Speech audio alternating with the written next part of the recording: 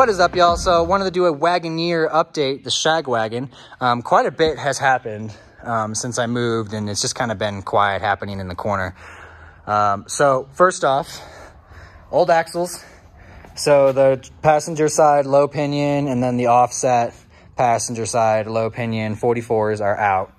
Um, I have no idea what I'm going to do with them. I posted them up for cheap and no one seems to want them. So they may end up under the rat rod um, Willys once I get to that point. But I put some JK axles underneath here, right? Um, which should be perfect. This is just going to be a daily driver. This isn't a wheeling rig. I don't need it to be extreme. I just want it to be comfortable and I can drive, right? I am looking for a two-door Cherokee and I want to build that into a rig. Throw some 40s on there, cut out the wheel wells, slam it down as low as I can. Woo! But one thing at a time. So I got this guy. Um, I had already coil swapped the front the last videos, if you remember, but I had just done something that was generic that kind of sat underneath here and it went to its own coil perch. Now I went ahead and actually got some Artec Industries TJ coil perches, which work perfect. Um, now I'm just kind of playing with what coil I need to put on here, right, to get that right, correct height and wide and ride quality. So these are some JK three and a halfs with two spacers um, up top. So um, trying to find a JL four and a half. I think that would be a good height for what I want to get and give me a good ride quality that I'm looking for. So we'll see. Um, I'm just kind of grabbing stuff as we take them off at the shop to see. So I'm not just wasting money. But uh, got a JK front axle, still have it three links. Um, pretty much just didn't you know, raised uh, flip steering, uh, gussets, lower control arm brackets. So I just did new ones because a lot of it's just kind of special custom, right? Um, so they're not in the regular JK spot. They're close, but they're actually outward just a little bit more. And I have them a little bit higher so I can get a little bit more um, stretch out of it. I'm using some JL Synergy front lower control arms. Um, the custom made upper control arm. It had my old one and then I just added some uh, steel tube around it and then a MotoBilt generic case so I can put it on top of the pumpkin there. Um, it is driver side now, which means transfer case is not going to work, right? I have that Borg Warner, which is a passenger side front and rear. Um, I have a 231 to put in there that already had a slip yoke, slip, slip yoke eliminator put onto it. So I'm going to make that up to the four, uh, to the TH400 and I have a new, I have to pull it and then rebuild it because I have to change the output shaft. It's like a huge ass 13 inch long 10 spline coming out of it. And I think it's like a 21 or a 23. It's been a while since I looked, but I have it on the ground over there. So I'll be able to swap him out, um, get that transmission rebuilt, which it's in fantastic condition. So it's really just to get the new output in there. Um, the new JK brakes. I'm gonna see about adding, um, upgrading the brakes on the actual uh, Jeep itself to see if it can handle the additional or if I don't need to, cool. Um, the rear, this is my little DIY kit right now because uh, I'm waiting on getting some control arms that I had ordered. So I just needed something to get them mocked up. We had some Rubicon Express off of a JK at the shop that I took, cut, extended, and made a little sick gusset that will get my lengths right. But, uh, so it's a C-channel frame. I actually took this and I still need to actually drill some holes. I'm gonna put some tube that welds on this side and welds on the outside and then do two more over here so it helps actually box the frame a little bit more. Normally, I would run some um, steel inside here and weld it to this and then put some notches on here and then where it lines up on here, I would weld that. So it actually boxes everything in, but I don't really need to on this one and it takes a lot of time and steel is not cheap.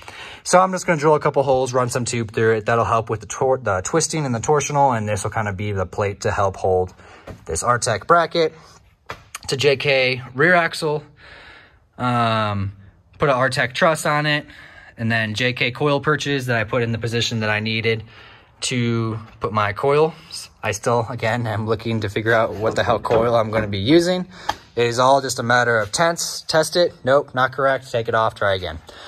Synergy long arms in the rear. These are JK two-door long arms um, that I connected to some JL rock crawler long arm brackets.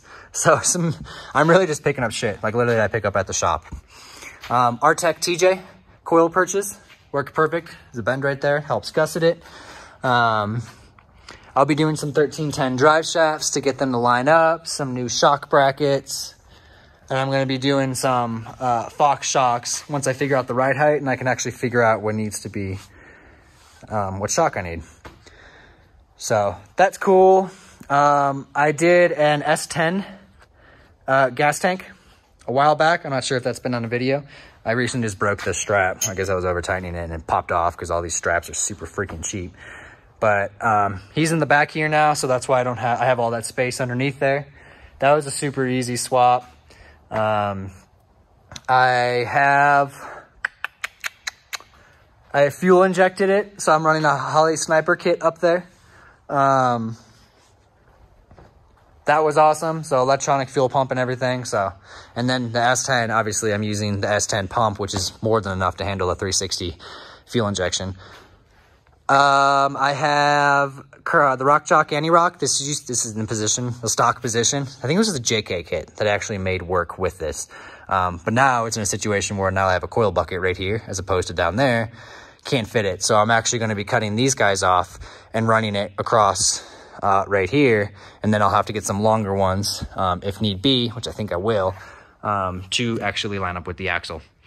And then steering, it's going to be a one, uh, a RPM one ton kit. So it's going to be just like this, solid aluminum with one ton tie rod ends. I don't need the two and a half ton kit. I just, like I said, it's just going to be a cruiser. So go to the store, get groceries, come home. Front bumper I made a while ago. I need to refinish it because at the time I didn't have a proper sander grinder. I was using a flap disc, so there's lines, so I just need to get everything smoothed out. Um, now that the shop actually has a uh, CNC plasma table, I'm gonna make a new one out of 3 16ths. Uh, rockers had some serious rust underneath them, so I actually went ahead and um, did some two by three uh, quarter inch thick steel that's welded to the frame. So it can be used as a rocker if need be. I'm probably going to get a set of those or make something similar to like the, uh, the Poison Spider Ricochet rockers where they actually just weld the tube right here and have two steps. So probably going to do something like that.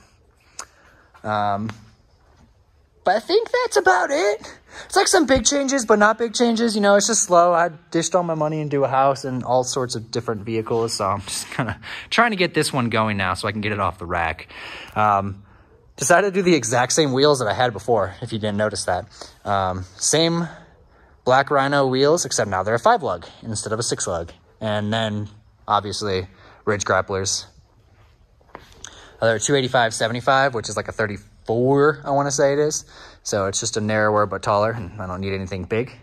I am potentially wanting to put 38s on there, but we'll see.